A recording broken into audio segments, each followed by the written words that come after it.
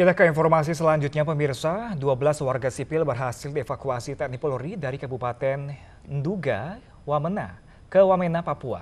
Tiga di antaranya mengalami luka tembak. Sempat terjadi kontak senjata saat pasukan gabungan TNI Polri melakukan perjalanan darat menuju lokasi pembunuhan 31 pekerja. Anggota TNI Polri kemarin petang berhasil mengevakuasi 12 warga sipil menggunakan helikopter dari Kabupaten Induga ke Wamena, Papua. Mereka merupakan empat karyawan PT Istaka Karya, enam pekerja puskesmas, dan dua pekerja di distrik Ambua.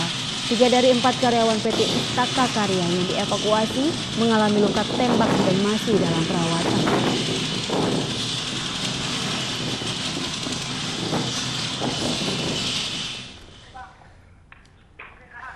Sementara itu dalam perjalanan darat menuju serangan kepada para pekerja proyek di wilayah distrik Yal, Kabupaten Nduga, sempat terjadi kontak senjata antara pasukan gabungan TNI Polri dengan kelompok kriminalita, kriminal separatis bersenjata.